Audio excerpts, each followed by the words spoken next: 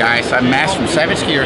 I'm here with Tackle Direct at ICAST in Orlando and check out this new bait I got for you. This is the hard 4Play, but it's the V2 version.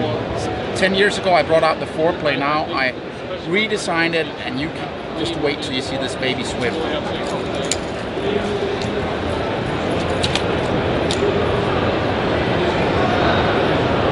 every time you make a spin stop, you actually turn to the side, following first, this is very provoking and that actually provokes a strike.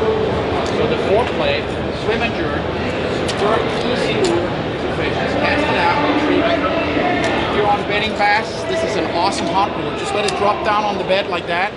And if she doesn't take it the first time, just pop it and it will actually swim right back on her. Just like that.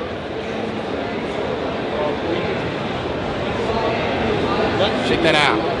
So, 4Play, V2. I got three sizes. I got an 8 inch. I got a 7 inch with a lip on. So two models, one swim and jerk and one lip lure. And then I got the baby size right there, 5 inch. So check out the new 4Play V2 at Tackle Direct this fall.